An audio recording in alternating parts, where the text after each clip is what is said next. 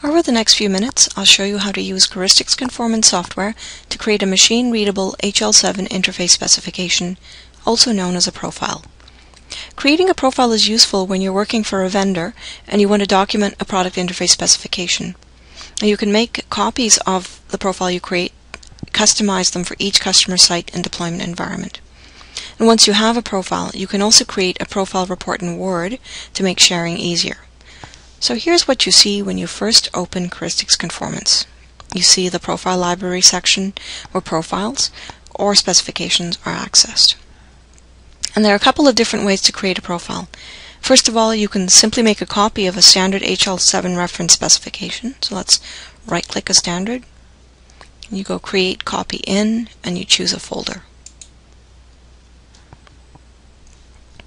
And there it is.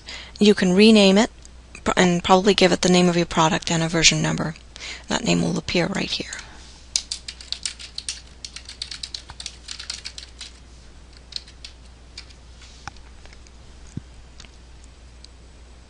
So that's one easy way to create a profile.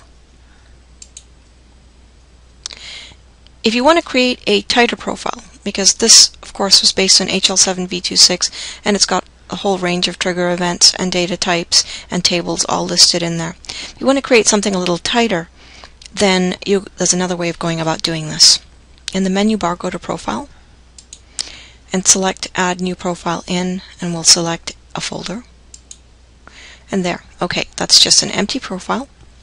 And the next step is to populate it with data elements and events from either another profile in the profile library or create an undefined event that we can fill in later. So let's go ahead and fill in a couple of different events.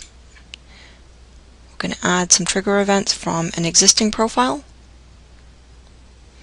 Let's say it's V251 and we'll just select a few of, of the ADT events we need.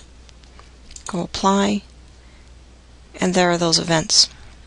Now, if there's an, if there's a customized message type that we'd like to define, we can go ahead and do that as well. So we can go new profile, add trigger event, and this is a new undefined trigger event that we can then go ahead and edit and add segments to and add other information to that we need to.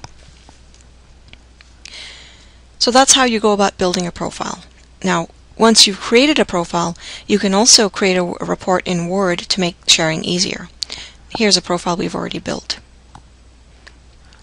We right click, go down to Open Report. Yes, because we didn't save our changes for the new profile.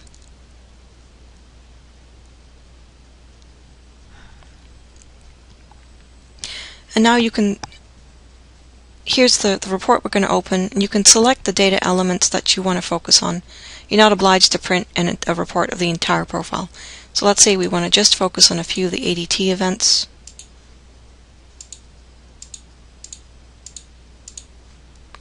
Go apply.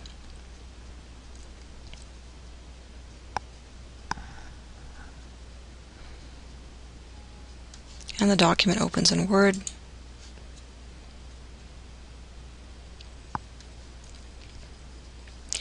Now when we scroll you can see that the document itself is based on the structure that we're all familiar with from HL7 documentation. You can see you've got your list of trigger events or messages and then you can scroll through or click through to see the message segments. You can do the same for the data types and the tables. You can save this document and share it with people working on the interface, including your customer.